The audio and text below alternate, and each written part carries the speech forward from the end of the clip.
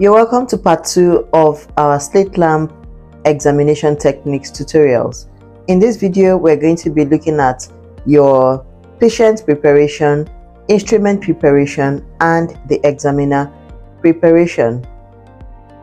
Before you start examining your patient, you need to take care of your instrument. How do we take care of our instrument? We need to sanitize this instrument and you shouldn't sanitize it before your patient walks into your consulting room. You should sanitize it when your patient is seated. It gives your patient more confidence in you. It's always better you sanitize in their presence. I use my disinfectant and then I, san- I sanitize all the parts that come in contact with my patient sanitizing the chin rest.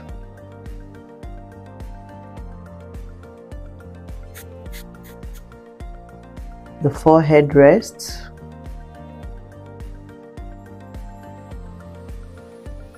And sometimes your patient may be holding on to this part especially if your patient is probably a child. So you need to sanitize may also do well to sanitize the parts of the table that are closer to your patient. Your patient is not expected to touch the table, but you sanitize regardless. How do you prepare yourself as the examiner? You need to make sure you're just seated comfortably. That is basically it. How do you prepare your patient? You need to make sure that your patient is seated comfortably. Your patient shouldn't be slouching or stretching.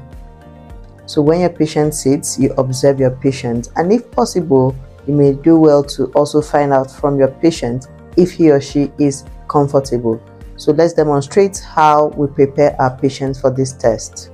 The first step in preparing your patient is to tell your patient what you're about to carry out on him or her. You're welcome. So today I want to examine your eyes with this specialized instrument. I'm going to be observing your ocular structures. So please put your chin in the chin rest and your head gently and firmly on the forehead rest. So your patient is seated. You can see the patient's back is okay. She's not slouching much and she's not stretching much. I can also go ahead to find out from my patient if she is comfortable. Are you comfortable? Okay, so she's comfortable. The next step in preparing your patient is to make sure that your patient's eye is at the canthus marker. Alright, so make sure that the temporal canthus is aligned with this marker. How do we move that? We use this knob here to take her face up a little bit so my patient's eyes haven't gotten to where I want them. And if I move this any further, my canthus marker is going to be invisible. So I'm going to finish up with pressing the lever on the table. So I move up table and now my patient's eyes are properly aligned. The next thing we want to do is to set our instrument how do we set our instrument for this test? First of all, we need to adjust for our refractive error. We will do that with the use of the eyepiece. After adjusting the refractive error of the clinician, the next thing is that we're going to try to attain a binocular single vision by adjusting this to set for our PD because in your practice you may be more than one doctor using the slit lamp. So for each time you want to use it make sure you adjust for your refractive error and adjust for your PD if you're the one using it alone then you don't need to be adjusting all these things because you know that they are fixed for you already. So I'll be using either the focusing rod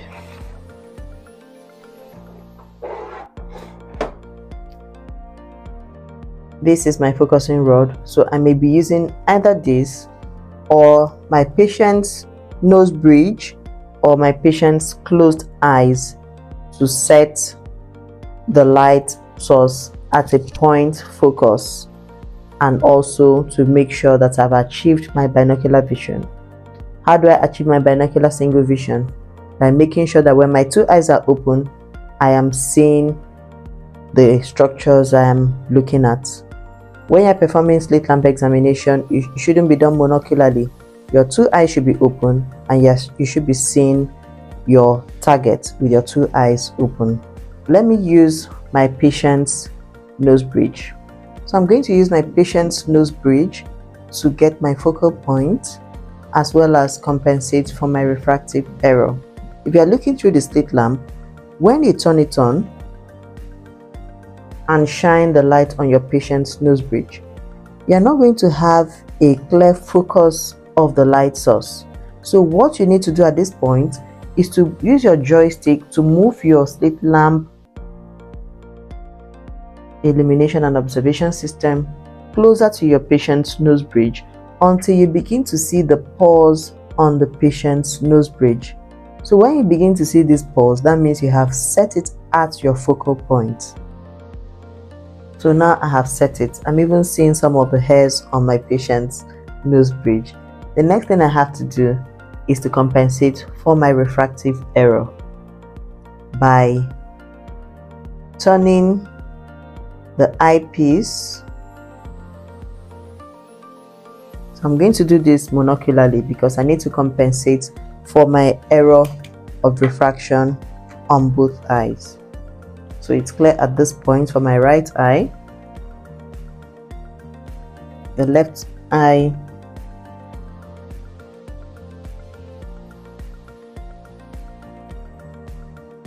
it's also clear at this point the next I'm going to try to attain my single binocular vision. Perfect. So at this point, I have adjusted for my interpupillary distance and I'm seeing the light source with the two eyes open.